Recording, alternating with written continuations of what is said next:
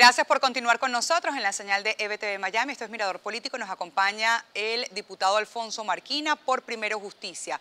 ¿Cómo retomar la ruta del pasado 16 de julio que millones de venezolanos le dieron un respaldo a esos tres planteamientos y se votaron por un sí? ¿Cómo decirle a las personas que vayan a votar cuando también hay tantos problemas que los están eh, eh, preocupando como la economía, la salud? ¿Cómo decirles que vayan a la calle y mantengan una protesta? Mira, lo primero, China, eh, que te tengo que decir que las tres preguntas que se hicieron el día 16, la tercera pregunta decía si usted está de acuerdo que se convoque unas votaciones universales, directas y secretas. Por supuesto que todos entendemos que esas elecciones que queremos los venezolanos es para elegir un nuevo gobierno nacional. Pero en todo caso, las elecciones regionales también son elecciones universales, directas y secretas y eso nos va a permitir poner nuestros testigos de mesa, nuestros miembros de mesa y poder demostrar y defender en cada una de las mesas electorales lo que hemos venido señalando en cada rincón de la patria y en cada rincón del mundo, que los venezolanos en una inmensa mayoría queremos un, cambio de régimen.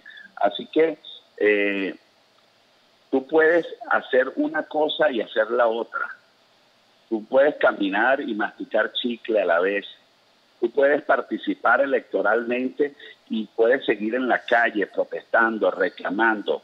Incluso para mí este proceso electoral es una extraordinaria oportunidad para que todos estemos en la calle, evidenciando las inequidades, las ineficiencias, los excesos, los abusos, los atropellos del régimen de Nicolás Maduro, pero además la corrupción administrativa que la ha marcado como gestión y la ineficiencia que ha llevado al colapso de los servicios públicos y a la destrucción casi total de la calidad de vida de los venezolanos.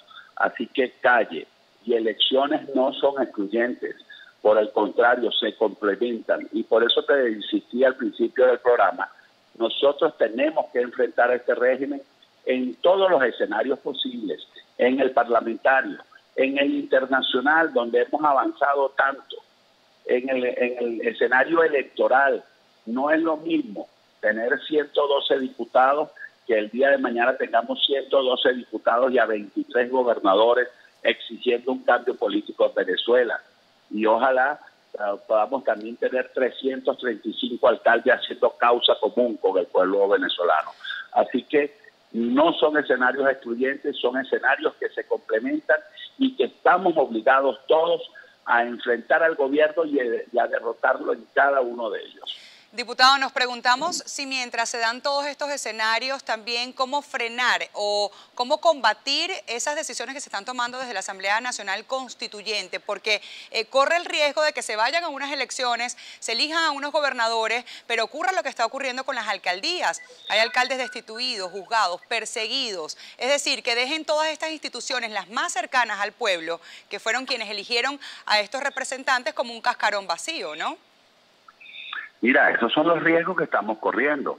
Y ese costo de esas decisiones que hoy toma el dictador Nicolás Maduro son precisamente los que le han elevado el costo en el plano internacional y en el plano interno. Hoy el mundo entero califica a Nicolás Maduro de dictador precisamente por esos excesos y esos abusos que se están cometiendo en el país. Y yo tengo que decirte, cuando nosotros estamos, o en el caso personal de Alfonso Marquina, presenta sus aspiraciones y asume un compromiso, no lo hace por un ejercicio de vanidad personal. Yo cuando presenté mi nombre a la Asamblea Nacional en el año 2015, sabía que no era un privilegio, que iban a venir momentos difíciles, tan difíciles como los que todos ustedes han visto que estamos viviendo, que incluso ni siquiera se puede decir que es una aspiración económica, porque todos los venezolanos saben que ni siquiera estamos cobrando los diputados nacionales, es decir, es un sacrificio personal y es un riesgo. Y es un riesgo porque hoy ser, diputado, ser alcalde o ser gobernador en esta Venezuela en la cual se ha instaurado una dictadura, es un riesgo que debería hacernos sentir miedo a todos los venezolanos. Y nosotros no nos escapamos de sentir ese, ese miedo pero te tengo que confesar, eh, China, mi temor más grande es a vivir asustado eternamente. Por eso es que, insisto, no debemos perder el norte. No podemos dejar de tener claridad de cuál es nuestro verdadero objetivo. Y nuestro verdadero objetivo no son ni las alcaldías ni las gobernaciones. Esas son instrumentos de lucha necesarios que tenemos que conquistar, pero que en todo caso el objetivo es el cambio político en Venezuela para que se restablezca el Estado de Derecho, la libertad y por supuesto la democracia. Yo no te estoy diciendo hoy que al declinar a mis aspiraciones a la gobernación es que ya no aspiro a ser gobernador y dirigir los, destinos de mi estado.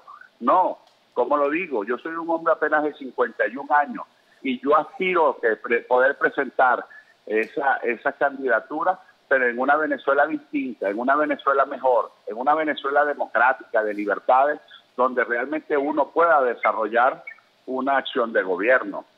En este momento, la prioridad de nosotros, y a lo que yo puedo decir, soy candidato permanente, es a salir de Nicolás Maduro, de la dictadura y restablecer en Venezuela la democracia. Diputado, quiero compartir con usted y con nuestra audiencia palabras del presidente del Tribunal Supremo de Justicia, Michael Moreno, en donde asegura que está pidiendo cárcel para todos los traidores. Escuchamos y al regreso su opinión.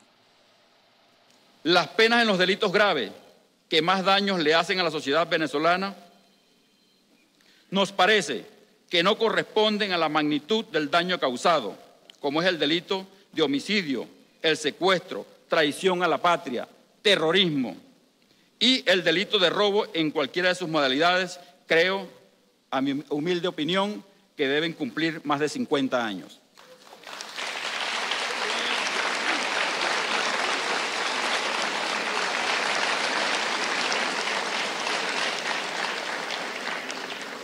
Todo lo cual se requiere que se revise el tope constitucional de 30 años previsto en nuestra Constitución y es tarea de todos ustedes, compañeros constitucionalistas. A ver, está pidiendo Michael Moreno desde una forma bastante subjetiva se aumente la pena para quienes ellos consideren traidores, cuando en el país lo primero que se viene denunciando es que no hay independencia de poderes y que la justicia está totalmente parcializada. ¿Qué responde, diputado? Mira, lo primero es que eso es contrario a lo que es la progresividad de la norma. Pero en todo caso, lo importante en esto no es el tamaño de la pena que se imponga, sino quién la impone, como tú lo acabas de señalar. Un Tribunal Supremo de Justicia que está allí eh, usurpando funciones, un Tribunal Supremo de Justicia que actúa con parcialidad política, que se ha prestado a ser una especie de trompo servidor a las pretensiones autoritarias del dictador Nicolás Maduro, no puede hablar de administración de justicia. Fíjate que habla de delitos graves, de, homicidio, de robo, habla de habla de, traición a la patria, porque para ellos traición a la patria es cuando un venezolano sale a, a, protestar porque no consigue comida en los anaqueles de los abastos o porque un familiar muere de mengua, porque no consigue los medicamentos o los, o los equipos médicos para ser atendido eh, oportunamente. Pero no habla nada del narcotráfico, Aquí en Venezuela se les han impuesto penas de 20 años a venezolanos por el delito de disentir de este gobierno y, a los, y a los narcotraficantes y asesinos de este gobierno no se les ha visto que se le imponga ninguna pena. Para ellos es responsable el que convoca una marcha de un delito, pero el que sale con un arma de fuego y mata a un protestante que está ejerciendo un derecho constitucional de manera pacífica, ese no es delito. Entonces el problema no es el tamaño de la pena. El, verdadero problema que tenemos en Venezuela es la podredumbre en que se ha convertido los tribunales de la República, que solo sirven, como te dije, para pretender imponerle a los venezolanos la dictadura de Nicolás Maduro. Diputado, hacemos nuestra segunda y última pausa en Mirador Político. Al regreso, mucho más en esta conversación que estamos sosteniendo con usted. Alfonso Marquina nos acompaña desde Caracas, Venezuela. Hacemos la pausa. Esto es EBTV Miami. Ya regresamos.